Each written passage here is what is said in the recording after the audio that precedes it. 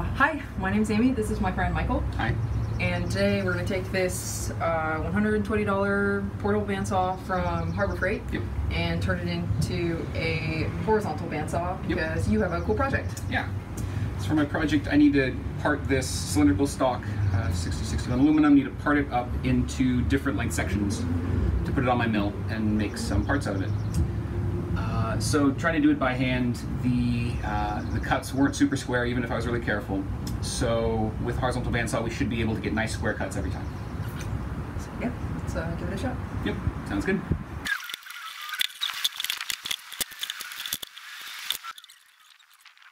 Okay, so we had a look at all the screws on the saw and we decided to uh, make a plate to mount to these four here. Uh, we went, ahead and got some slightly longer screws. And uh, from here, our plan is to use 2x4s to attach some kind of an arm that hinges to a plywood base.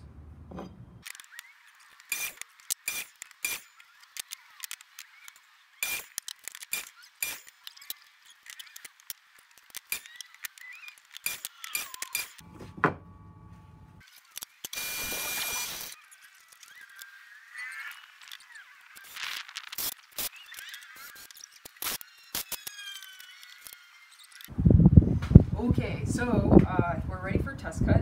Um, we ended up adding this piece of wood here because the blade is not the lowest part of the saw. So this is to elevate the workpiece to make sure that the saw cuts all the way through. Uh, we also had to add this reinforcement to the pivot here, um, but now it seems sturdy enough. Uh, that's it going up and down. There's a little bit of side-to-side play, um, and this plate flexes a little bit, but we think it's close enough for a test cut, so let's do that.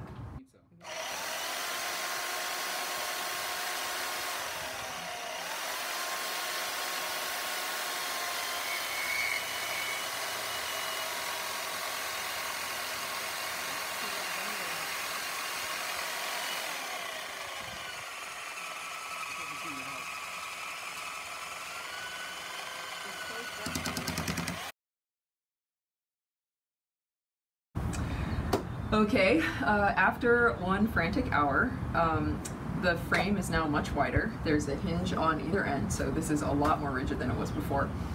This plate was quarter inch, now it's half inch, um, so that also feels stiffer. Somehow, in the whole process of doing this, the angle of the saw changed slightly, which is why we've lifted it up a little bit higher using this.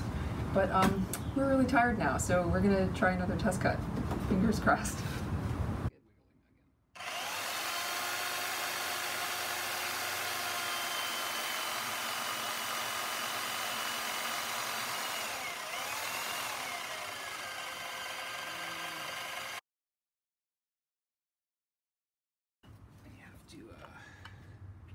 Ready? Good. Ready? Cool.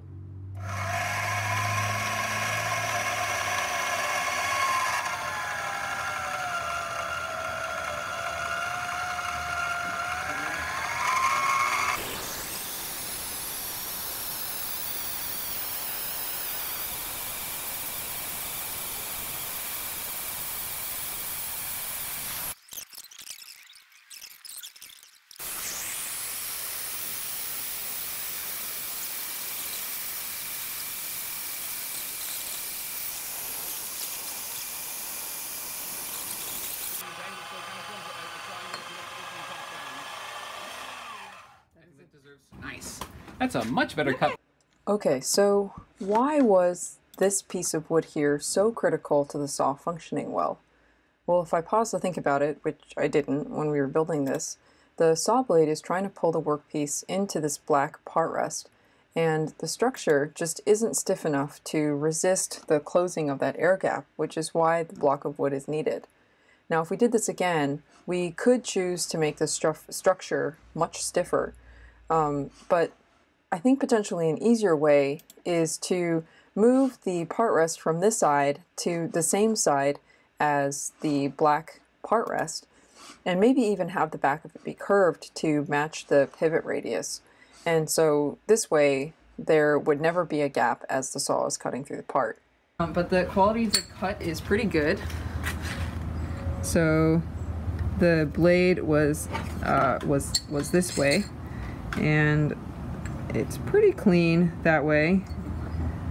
The blade didn't wobble too much that way. And when I measure the squareness here, it's off by like an eighth of an inch on the other side. So some room for improvement, but Yeah. progress. I think we're gonna call it a day. Thanks.